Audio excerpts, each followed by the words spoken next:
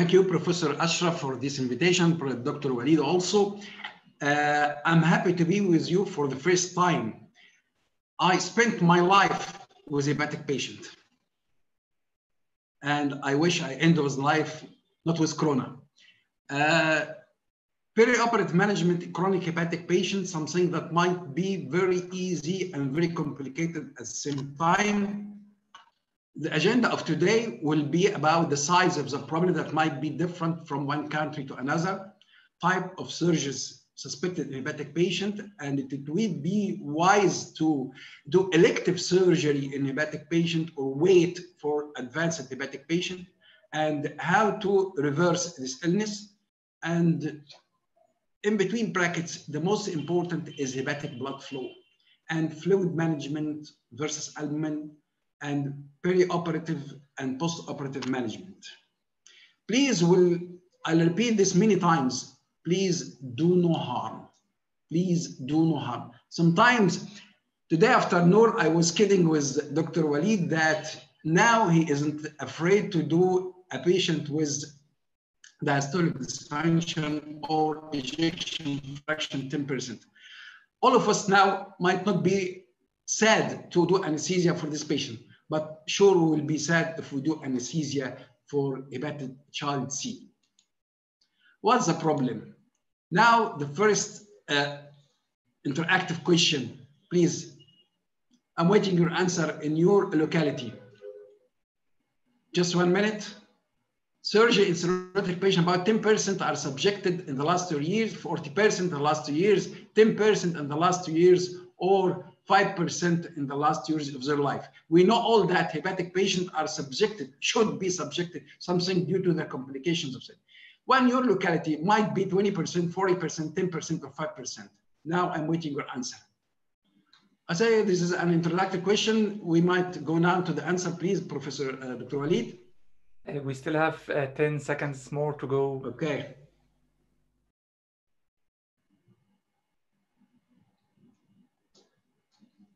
This is the simplest question today. Answer, please. Yeah. Oh, yeah. This is a good answer that it may be equivocal. So there is no accurate data about the percentage. I'll do some person in my locality. Please close. So we will see that it is subjected that 10% of patients are subjected to surgery in the last 10 years. If, if you have, for example, in Egypt, about 10 millions, so we are discussing the problem of 1 million patient might be undergoing surgery during their life.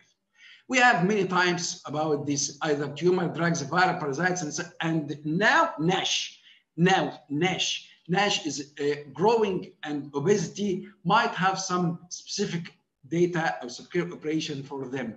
So we have 10% of patients might be subjected in the last years in their life.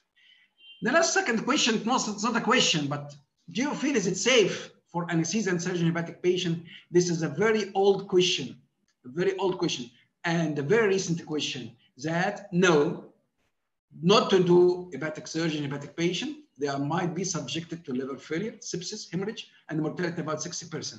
This was in the year 2062, 1962, uh, 82. But another professor, both were surgeons. Better results with good perioperative care, the mortality might go down to 80%.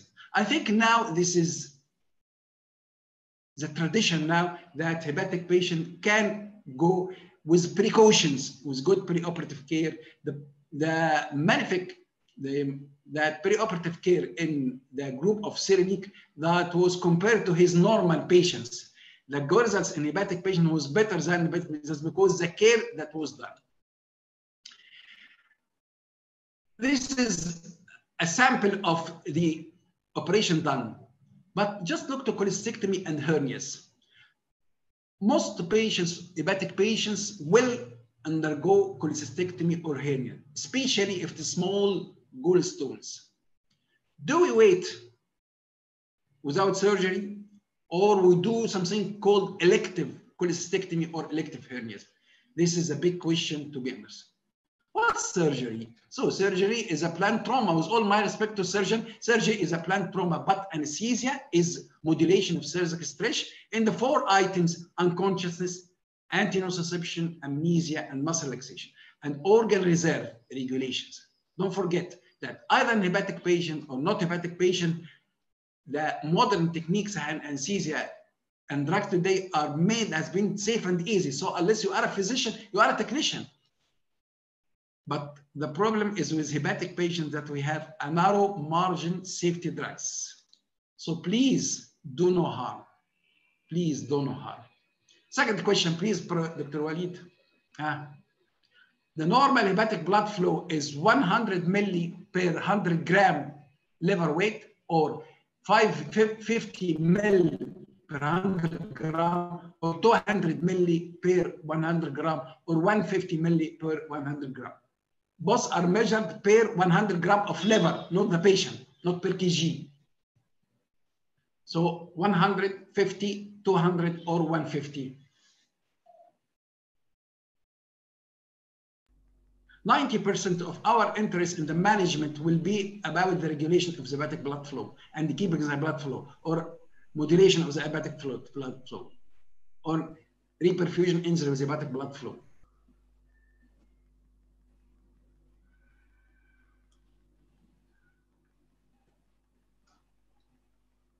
Five seconds more and we'll close the poll.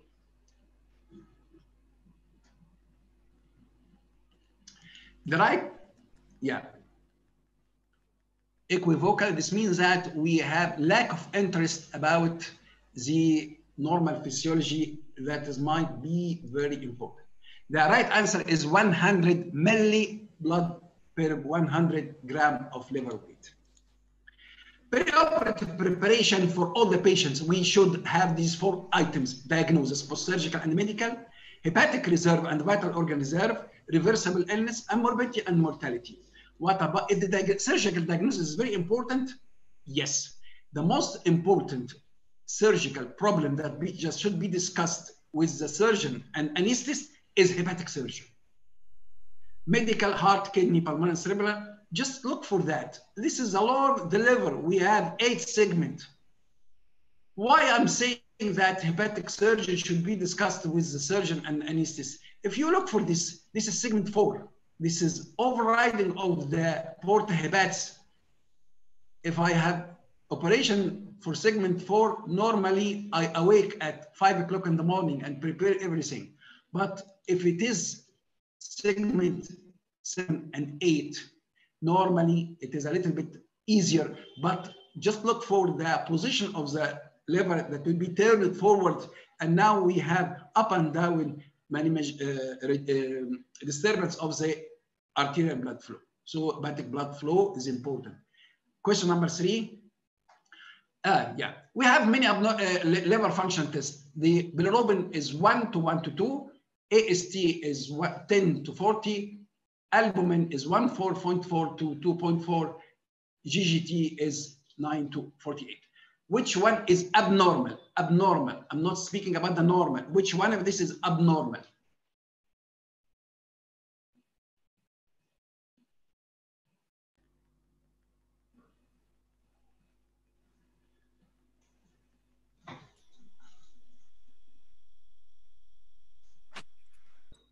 Okay. I think, uh, uh, Dr. Walid, uh, enough 30 seconds. Um, Most questions are uh, very simple. I think in one minute we are getting more than 50%. Uh, okay. If we if we say 30 seconds, we'll get only 30%. So yeah, I'm, I'm, it's in front of my eyes now. okay, perfect. Most of people are afraid always. Okay? Uh, yeah. 71% are answering the good answer is albumin range. It's quite right. So my guess is quite right. We all think about albumin and think little about hepatic blood flow. The right answer is albumin, which is very low in this case. Question number four, please. Portal hypertension is considered as gradient above six, gradient above eight, gradient above 10, gradient above 12. which is right answer to define the hepatic vein pressure gradient to define portal hypertension. That's because sometimes portal hypertension might be contraindication from the start or might be a worse manifestation during surgery. So we should know a number of that. Portal hypertension, six, above six or above eight or above 10 or above 12.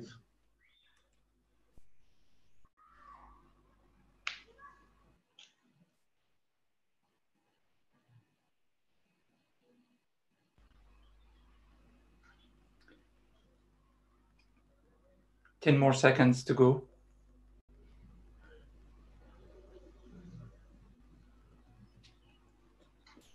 We have 65% voted this time, so a lot of increasing. Yeah, yeah, yeah. Good. So uh, the right answer now we have 44%. This means that more than 50% uh, don't know the right answer, but the, mainly this good improving the answers. That's very good. So the right answer is hepatic vein pressure gradient more than 10 millimeter mercury. Uh, now, this is my abbreviations acronym about the irreversible A, B, C, D, E, F, G, H, I. By the way, my father was an English teacher, so I'm a little bit uh, perfect in English. Uh, a, B, C, D, F. If we can memorize this A, B, C, D, F, we can look to the patient in a numerical way and an acronym way, but think about ABC in a circular manner. That's, this means that all of them are important at the same level. So A, ascites, B, blood, blood gas and pH, C, coagulation, D, drugs, E, electrolytes, F, food and fluids, G, uh, glucose, uh, H, hematemesis, infection. All these A, B, C, D, F are reversible enzymes that might and should be corrected before uh, going to the operation. Um, number one is ascites. We know that ascites has altered hemodynamic, altered respiratory, but the most important, we always forget that it is a low complement that increase infection. So no patient is allowed to go to the operation with ascites.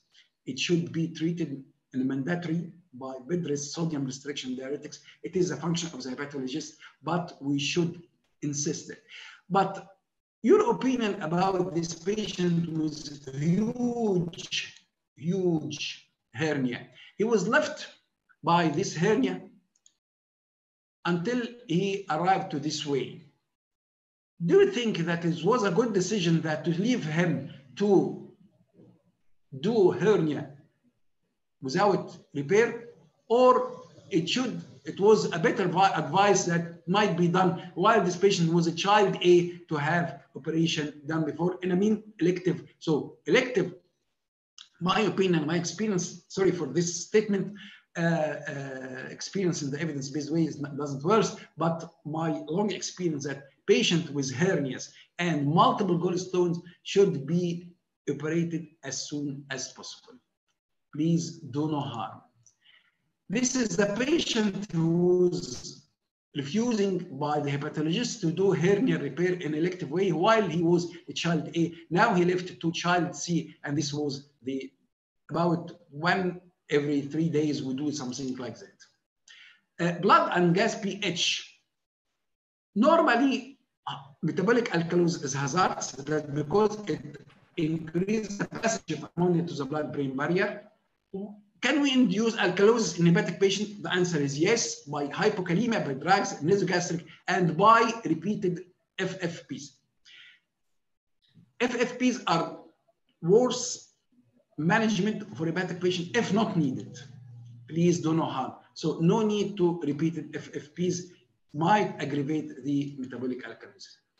By C, coagulation, simply we can prepare the patient in the three phases, vascular phase, coagulation phase, and fibrolytic phase. By the vascular phase, I mean endothelial and platelet, where transfusion, this is crucial, 50,000 millimeter cubic is essential or least or sufficient or any word you can say you don't mean no more than that. But don't mix between the prognostic value of platelets in hepatic resection and the necessary amount for good hemostasis. For a good assessment of the bed for resection, hepat platelets better to be not less than 100,000. But for surgery, even with great surgery, 50%, 50,000 50, are sufficient. If less than that, and we're doing a major surgery, one unit per 10 kg or 8 to 12 units initially. Pharmacological and this proceed. Please do no harm. There is no need to transfuse platelet with a patient with 70,000 or 100,000 or 120,000, even outside the hepatic patient. Uh, coagulation phase, prolongation of prothrombin time need nothing. If you have a patient prolonged three seconds, do nothing. That's because normal hemostasis need only 30% of each coagulation factor. We don't need 100% of the coagulation factor. We need only 30%. Do no harm. Please, no transfuse if not needed. If needed, and I assume that the patient has deficiency coagulation factors, so 30% will be transfused in a manner of three to four fresh frozen plasma units or cryoprecipitate if fibrinogen is less than 100. Please do no harm. No transfusion, do no harm, do no harm. Used immediately when needed. Used immediately. No need to prepare the patient with hepatic patient. He has, for example, uh, PT or INR prolonged and we prepare him for any operation. No need to stay at, at home or at the hospital for three days and each day give him plasma, two units plasma. This is harmful. This is not nonsense. This is harmful. Please do no harm. Or the patient might have fibrinolysis. It, it is diagnosed by prolonged increased FDPs or ROTEM with a fish tail sign like that. It is treated by aprotinin or tranexamic acid. Uh, question number five, please. Hepatic resection, good prognosis. Platelet count, more than 50,000, more than 100,000, more than 100,000, and uh, elastography values more than 30. So A or B or C.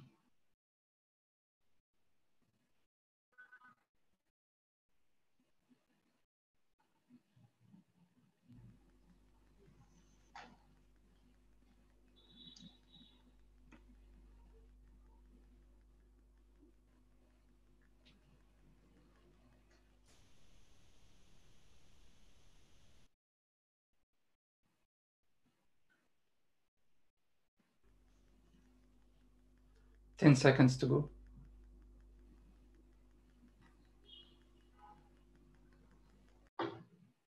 Number of answers increasing or decreasing, Dr. Ali? Increasing. Okay. Uh, more participation. I think I uh, said the answer during during my talk. So 52% uh, are concentrating with me and the remaining are not well concentrated. That's because I said 100,000 platelets and trans elastography. Less, Prof. Magdi, are you still with us? Yeah. Uh, you hear me? Hello? Hello? Yeah, I hear you well, Dr. Magdi. No problem. Okay. Uh, Prof. Magdi, I think we lost you. Uh, no, Walid, I, I, can, I can hear him. Walid? Maybe the problem is with Dr. Walid. Hepatic resection, good prognosis in patient with more than 100 and elastography less than 23 about the drugs, if you are dealing with any hepatic patient, you will see that he has a bucket, a bucket of drugs, diuretics, ACE, beta blockers, laxative, antibiotics. So you think about each drug individually. And uh, yes, Prof. Uh, I think it, it was my it was my low internet problem, so it was from okay. my side. But I think uh, yeah. most most of people are hearing me well.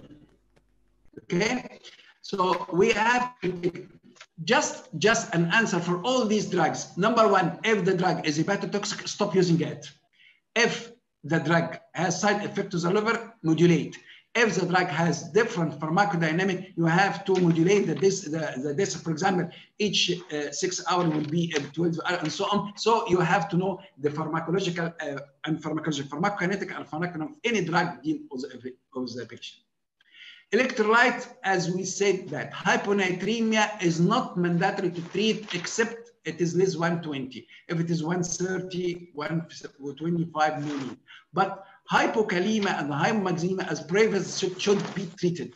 Many causes of don't lead the patient to go to operation while he has hypokalemic or hypomagnesemic. But the problem is that magnesium and phosphorus and calcium are, are intracellular. So the manifestation and the patient has many, many factors that going him to be, to be in hypokalemia or hypomagnesemia. So you might do double or triple correction of normal patient in hepatic patient. Don't hesitate if you can give اما يطلب اما يطلب question number 6 قول لي انا فقدت الاتصال من عندي حاضر uh, the most important is food. We lost many generations of hepatic patients because our the medical advice is stop eating protein. So they went to sarcopenia. Sarcopenia is a muscle wasting. So food, protein calorie, now I'll start to be uh, antagonized by many attendees. Protein calorie malnutrition hepatic affect liver capacity to regenerate. So what a relation with hepatic regeneration, number one, and also with the outcome of the operation, improvement of nutrition will improve outcome on operation. The astonishing data now written in all guidelines of ESPEN European guidelines, American guidelines, Canadian guidelines, and Australian guidelines that calorie requirement, if based on lean body mass, are increased. Caloric uh, is critical for efficient use of protein, and also, also, also, also that protein requirement should be increased. Normally, we give normal patient from 8.8 to 1, and for hepatic patient from 1 to 1.25 gram per kg per day. What's the problem about that? We previously, in the last 30 might be in Egypt only, I don't know, all over the world, we advise the, the many patients to take matchbox of protein. This matchbox is about 50 gram meat, not 50 gram protein. But if we can imagine the crime we did, that one gram protein equals three to four gram meat.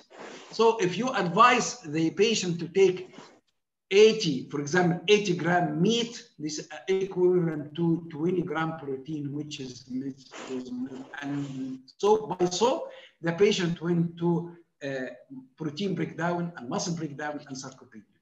But food and preoperative food, it is like any another patient that oral is better than enteral and better than parenteral parental nutrition, and then lastly total parental nutrition. Calories 30 most of them should be carbohydrate. Proteins, as we said, should be increased, and multivitamins, multiminerals, and salt water quotient. If you are speaking about salt and water quotient, we said it by mouth, but practically speaking, might fall into hypernatremia. How?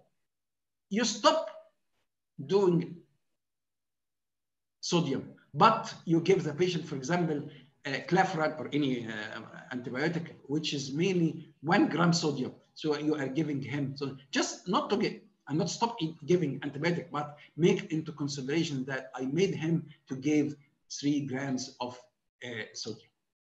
Please, needs are normal, do no harm. Fluids. Uh, hepatic patients are hypovolemic normally, and they have most of water and salt retention outside the vasculature. With a stormy induction, you might have the patient severe hypotension. Question number six, Walid, please. You hear me? Okay. Uh, this is the most important question. I uh, made a challenge with Dr. Walid in the morning that this question to be done or not. Normal physiological saline, sodium 154, chloride 154, pH 7.4, osmolarity 290. Or B, sodium 154, chloride 154, pH 7, osmolarity 290. And C, number C, number C, you wrote it A. Number C, C, C, the third one, sodium 145, chloride 145, pH 5.7, and the osmolarity is 308.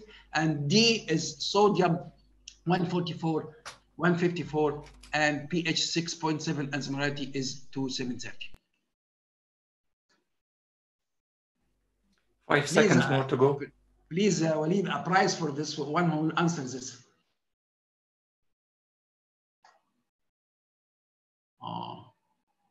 I, I think, uh, Walid, I gained the challenge. I gained the challenge. Uh, Walid? Walid, Uh, ye- yes, Prof. I gained the challenge. I I didn't get you. Sorry. I gained the challenge that the right answer is a little bit about 22% of this is one of the most tricks in our daily life that we always not say that normal physiological saline, it is abnormal physiological saline. The answer is, if we look to the chloride and sodium, it is 154. This is because it is a rule of electrochemical gradient, never to be one above the one. It should be the same number. But the pH is acidotic and the osmolarity is hyperosmolar. So it is now called abnormal physiological saline. So please uh, make a little bit attention about the composition of uh, any fluid. Why this chart? It is a little bit complicated. Uh, Just to memorize it, please. That is a plasma we doing. We're trying to do similarity, but for sodium chloride, yeah. If we look for this, it is sodium chloride is hyperosmolar and ringer injection is hyperosmolar. I think both sodium chloride and ringer are both similar in the same disadvantage, except with minimal potassium uh, and calcium, but higher, higher, higher chloride. So ringer lactate is hypo. Uh, now I think Dr. Amra will speak about TBI. So uh, ringer lactate and ringer acid are hypoosmolar. I think he will mention it. If you look to the pH for all, sodium, ringer are acidotic. Acetate, lactate, both the four are acidotic. If we look for sodium chloride and ringer, both are similar in the same disadvantage. So you haven't changed anything if you do ringer instead of sodium. Nothing, nothing, nothing. The same hyperchloremic acidosis might happen. Ringer lactate and ringer acetate are similar in hypoosmolar, are similar in hypo, not, not relatively, chloride content are minimal. The third question about the drugs. So drugs, a choice and the amount and amount and timing, choice and amount timing. How much we can give to hepatic patient? These two examples, I have, I have to have one equipment to tell me that if you have patient with heart rate, both, both the cases are have the same problem. Heart rate is increased, mean arterial pressure are low, stroke volume are low. So we have three parameters are low in both patients. But which one might benefit of fluids, volume responder? If we look, this is the same problem for both patients, but the main pathophysiology is different. Look for that. Stroke volume resistance, here is low and here is high. Again, stroke volume variation is normal and here is high. So this patient needs fluids and needs this patient needs vasopressin. So you have something with you, not to deal with drugs in amount and HMs. These are the crystalloid. For, for the albumin, albumin only at three approved indications. Prevention of cardiovascular and renal dysfunction with large volume paracentesis, treatment of subacute bacterial peritonitis, and treatment of hepatorenal syndrome. Please, no other indication. It is harmful. It is not only costly, it is harmful and it's useless. The main problem is that albumin is done by a technique, pasteurization is exposure to 60 degrees for 10 hours. So it loses its negative charge. So it will go from the infusion to the blood to the urine. Half-life of synthetic albumin is 24 hours. Albumin is not indicated, is not indicated, ARDS, septic shock, TBI, major trauma, hypoalbuminemia chronic, kidney transplantation, hemorrhagic shock, abdominal compartment syndrome. If you give it some, it happened with me uh, in my institute that as a sort of recommendation, if the patient has a relative in the department, he uh, his mild acidic, please give him albumin 20%. And the second day, the patient went severe hematemesis and went out. Please do no harm. Please do no harm. Please do no harm. Albumin is not wise indication. Glucose. LG glucose percent of hepatic patients are diabetic because of insulin resistance. Has many pathophysiology to, to lead to insulin resistance, but the patient is the hepatic diabetes. Okay, the only as many other patients is that we have to keep as, uh, as a recent guidelines of the old guidelines now it is not recent that we have to keep the blood pressure to 150 to 180 hematemesis should be corrected preoperatively and postoperatively infection should be meticulously treated in hepatic patient with uh, strong antibiotics uh, a specific antibiotic hematemesis infection please do not harm hepatic reserve is a very uh, crucial sound. We have many, many, many, many indications about hepatic reserve, but about the calculations. So we have three well-known scores, ASA, Child-Pokes score, and MELD MELD score. Seven. Question seven, Walid, please. Yeah. Cardiac output in cirrhotic patient, three liters per minute, five liters per minute, 9 liters per minute.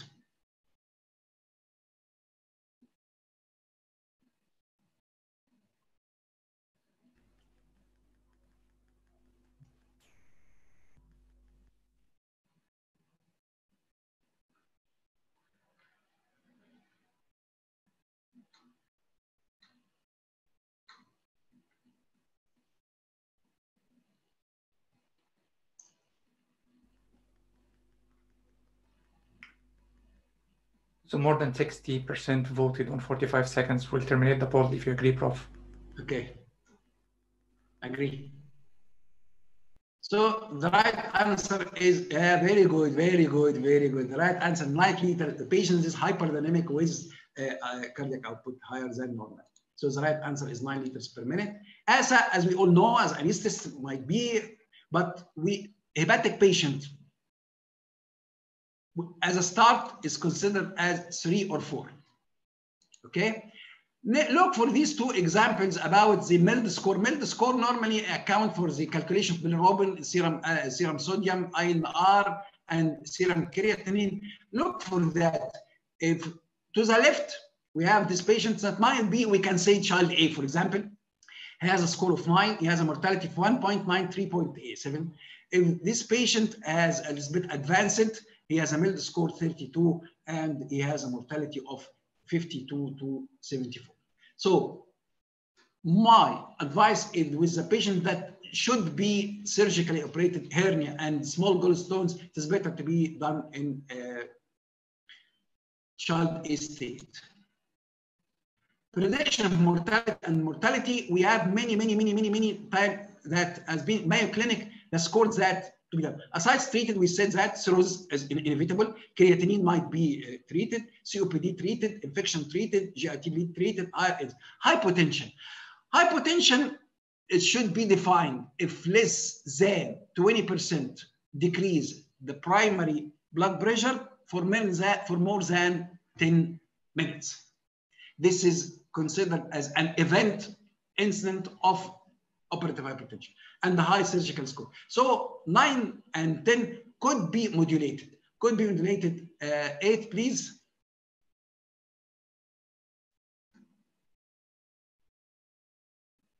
which carries out bleeding uh, in, uh, in surgery, platelet count less than, uh, more than, more than 50,000, fibrinogen level less than 100, PT more than, less than 15 seconds, and all of the above.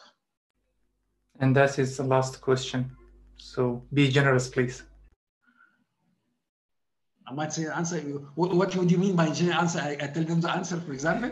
be generous, generous with share. share your thoughts. I think it's, it's improving. As the number is increasing, there might be more participation. I might do the next lecture with uh, more than that, more than questions like that. 60% and the 40% I think they left, for example, to take tea or, uh, okay. The right answer is tricky. Uh, what is the answer?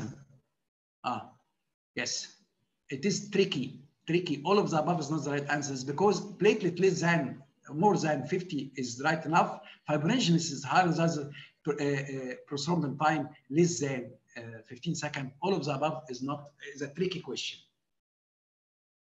So the right answer is fibrinogen and should be corrected. Hepatic blood flow. Hepatic flow, we always uh, look for the hepatic flow in two levels, systemic cardiac output, vascular resistance, and so on, regional by the arterial buffer, and don't look for the microcirculation. The microcirculation is a balance between balance between uh, vasodilator as vasoconstrict. The most important is that sinusoids in the endothelial cells may survive a period of ischemia but die from reperfusion. It is strange that if you regain the systemic blood pressure, the hepatic internal circulation might take about 60 to 90 minutes to come back after hypotension. So the main function of the anesthetist during the Perioperative and initially operative is keeping the uh, blood pressure and hepatic blood flow. Sure, laparotomy, laparotomy increase hepatic flow by 80% and the anesthesia by 20%. And they're always accusing anesthesia. So laparotomy, if it is better to be uh, uh, replaced by laparoscopic, it is better. General anesthesia is very simple nowadays. Small doses Please remember this statement, small doses multiple drugs means side effects of none. The goal is to avoid drug accumulation toxicity, maintain hepatic blood flow, again maintain hepatic blood flow, maintain hepatic blood flow, and reduction of blood loss, and avoid respiratory alkalosis. And opioids, opioids are safe. Opioids are safe. Opioids are safe and less hazard than pain morphine is only affected by glucuronidation, which is affected lastly when the patient is going to die. So with a compensated patient, no IRS. The, if we say we with we were uh, taught that pethidine is safe. No, that's mistake. If you will stop any of the narcotic, stop pethidine and codeine, tilidine, and tramadol is not active. Uh, the active metabolite is analgesic, so it is not highly effective as normal patient. But the family fentanyl, sufentanil, fentanyl are not highly affected in liver disease, so it could be used with little decreasing of the dose. Monitoring is very important. This is not statement, is not like any treatment. Intravenous line, at least if you are going to do hepatic surgery, or abdominal surgeon hepatic patient, please keep inflow one liter per minute at least, which equivalent to hepatic blood flow. If the surgeon, sometimes it might happen that he might injure the portal. If you are doing intravenous from outside less than one liter, you might lose the patient. And blood warm and uh, rapid infusion system. CVP not to measure. Uh, we don't we don't use CVP as a measurement of, but we keep the CVP as low as possible for decreasing the outflow of the liver so we have not congested liver. Blood pressure, non-invasive, end-tidal CO2 is important. Urine output. These patients are more hazards, more to act to a more uh, uh, exposed to AKI. AKI. urine output should be measured hourly. Okay, and temperature also. Temperature is very important every decrease in one degree of temperature increase blood loss by 22%. And we also wrote them for the measurement of coagulability. This is fibrinolysis, this is normal, this is platelet deficiency, this is fibrinogen deficiency, and so on. So uh, it is an, it might be another another lecture, but ROTEM can differentiate. Number one, if this patient has bleeding, this is 100% surgical. But these figures are pathophysiology of coagulability and that should be treated to stop bleeding. Post-operative care, analgesia. Please, no, no non-steroidal uh, acids. Morphine infusion PCA might be. Paracetamol is safe in a decreased dose, respiratory therapy, and so on. Early enteral nutrition and early enteral nutrition and early enteral nutrition. Effect of pain on the liver. Acute severe traumatic pain induces and increases the ability of the liver to convert amino acid.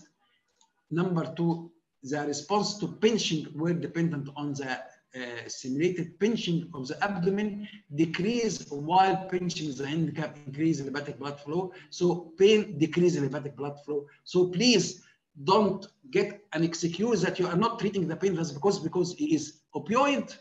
Uh, you will go delayed recovery.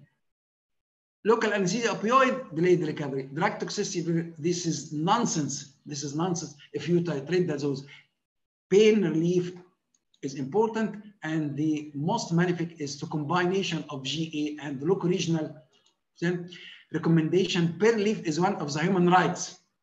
Pain decrease in hepatic blood flow more than analgesic drugs. Operative narcotic decrease in drug usage of anesthetics. Narcotics have great safety in hepatic if used, if titrated properly. Paracetamol toxicity is dose dependent. It is not the paracetamol is toxic, it is the metabolite which is toxic, and metabolite is toxic only with higher dose and with uh, a glutathione deficiency. I think most of you now are bored this because I think at this time, I say oh, exactly, exactly about 40 minutes. If you forget all of what I said, just remind all things that might be done in normal patient should be done in hepatic patient. No excuse to do in bad circumstances dealing with non-optimal conditions without great effort with bad outcome. Thank you for your patience and now I'm now ready for my exam. I, I made the eight questions, I'm ready to 80 questions. Thank you very much. Thank you very much, Magdi. Uh, it's a very, very nice presentation. Very interesting. So we have some questions here. Uh, I hope we have uh, maybe three or four of them to answer from. And now the most important question now is on the screen is about the evaluate the, uh, the multiple choice. I think 100%, I, am now I'm, I saw the answer, 100% excellent. this is this is just for uh, attendees uh, to document yes. the elements of the lecture. I'm, I'm waiting. I'm waiting. Your your brilliant evaluation, Prof. Magdi. Uh, so we can take we can take we can take the uh, the questions uh, while this polling is here. Okay, should I ask the question now? Yeah, go ahead, please. Yeah. Just, who is asking? There, Who's asking? There's a question. Who is asking? Anhar Fathi. Okay. Dr. Anhar is asking if uh, with which type of replacement we should start, platelets or fresh frozen plasma, or what? I'm not sure about uh, maybe correction of coagulation uh, disorders. Should okay. we start with platelets or fresh frozen? What's your advice? My advice, and I think it will be the same answer in TBI, the next uh, presentation, that if you are going to hypertensive patient to the pharmacy, you don't try it antihypertensive drugs. You write either beta blockers, calcium channel blockers, ACE, ARB, and so on. So by ROTEM. Uh, may I go back to uh, the slides? You can, you can share your, your slides again, Prof. Mati. Okay.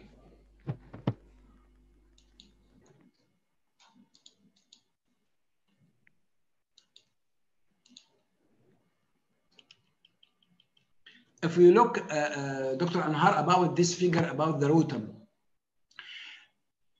it is the answer of your question, either platelets, fibrinogen plasma. So if you have a figure like that and you have bleeding, it is a surgical bleeding. whatever you give to the patient will, will not stop bleeding. That's because he has normal hemostasis. If you have figures like that, he has a problem either in platelets or fibrinogen or in fibrinolysis. So I think this is your answer. So platelets and fresh frozen plasma are not synonymous.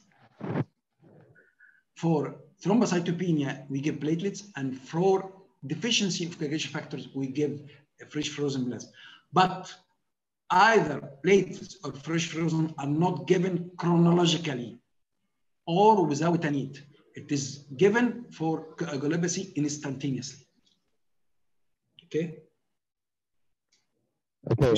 Uh, there, there is very interesting question here about the difference between Ringer's lactate and Ringer's I, I, cannot, I cannot hear. I cannot hear. Yeah. Uh, the question again. The question again is the difference between Ringer's lactate and Ringer's acetate. Which one should we be this is from the case, uh, for, for normal for normal patients both are quite right but for hepatic patient ringer acetate. That's because acetate is metabolized in the muscles and lactate as we know it is uh, if you have a problem in the hepatic metabolism you will add more lactate. So you are giving lactate which is not metabolized and the liver is giving lactate so you are adding more lactate to the body so uh, ringer lactate is not wise crystalloid for the hepatic patient. Ringer acetate. Okay. Um, here another question from uh, Dr. Anhar. I guess you answered already, Dr. Uh, uh, so, so, uh, I think the voice is as a little bit echo. I don't know why I cannot hear it. Okay, the question is, which was already answered in the lecture, use of albumin in COVID-19 patients with renal impairment. I guess Dr. Uh, Majdi mentioned that there is no indication for albumin except in certain very limited indications, yeah. like yeah. Uh, hepatorenal syndrome, yes. Uh, spontaneous bacterial peritonitis, and yeah. otherwise uh, it increases mortality and not of any benefit. Yeah. Do you agree with me, Professor Majdi? What? You agree with me? I, I don't agree. It is not my, yeah, uh, at least it, it is not my experience. I can now share, I can, uh, I can now share. We're share, yeah, the, the evidence is very, the evidence yeah, is yeah. very known about this albumin has no benefit in critically ill patients except yes. in this limited to very straightforward indication. Bacterial peritonitis. دكتور وليد أنا الشير راح من عندي مش عارف راح فين. your your screen is shared, uh, Prof. I will stop share and you can reshare it. Okay. لا لا خلاص You can reshare your. Maybe the last. Maybe the last question. It is, it is clear. Uh, وليد uh, yeah. باين عندك؟ Yes. Uh, guidelines from Stanford Healthcare Department about the guidelines of intravenous albumin administration. This is the only reference I uh, keep it with me. That's because I know the uh, battle of albumin usage, uh, at least in Egypt. This is approved indication. This is approved indications. And here is uh,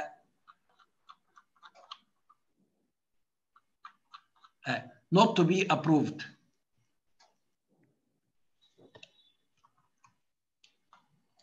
Yes. Yeah, this is Stanford Stanford uh, uh, guidelines.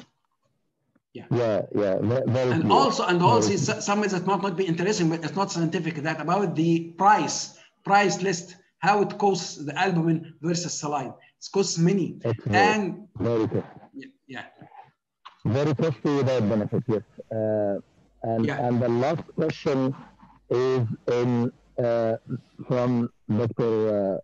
Isa again, he is worried about using protein, and he said, does using, it cause hepatic encephalopathy? Using and what? We should protein. I, I cannot hear. Protein use. Protein, protein. He's I asking about to decrease the use of protein in hepatic patients. What's your advice on this? Yeah, protein usage is increased in compensated hepatic patient it will help the regeneration of the hepatic insult, whatever. as long as the patient is compensated, he should he should take 25% more than the normal patient of protein. And this protein should be adjusted, as I've said previously, that it should be 1 1.25 gram per kg per day for body weight, and then multiply 3 to 4 to transform into meat. And then if the patient will go down into decompensation and coma, and coma, it might be decreased, not abolished, not stopped, decreased, not abolished. This is if if he if he if he doesn't trust me or she doesn't trust me, he can go to ASPEN guidelines, ASPEN guidelines, European or American or Canadian or Australian guidelines. All of them now agree that protein should be increased in hepatic patients. Okay. Dr. Professor uh, Salman uh, is asking about the magnesium sulfate in hepatic patients. What about that, Dr. Majdi? Magnesium sulfate as regard what? If the patient is hypomagnesemic, it should be it should be corrected. Is there any rule for magnesium sulfate in hepatic patients very objectively? Uh, what? Um, not aware of any rule of specific rule for magnesium sulfate? Uh, normal, normally patient, patient, as I've said in my lecture, that normally have uh, hypomagnesemia and hypokalemia, especially if they are diabetic. And the compensation okay. as, as a patient might be two or three-fold. You might be asking question about the sulfate per, per se or magnesium per se. I'm not, I cannot Magnesium, magnesium sulfate. If, it, if, if it's a question about magnesium, normally the patient is potentially hypomagnesic. Okay. Uh, I, I think we have to stop here, uh, Dr. Majdi, and thank you very much again for this very nice presentation. Thank you. Uh, I personally enjoyed it very much. I'm, I'm very sure that everybody enjoyed. And there are some other questions which might be answered directly later on through chat.